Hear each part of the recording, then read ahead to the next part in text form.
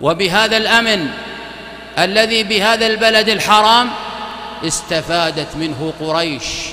كما قال ابن كثير رحمه الله في التفسير استفادت منه في أسفارها وفي إقامتها في البلد الحرام.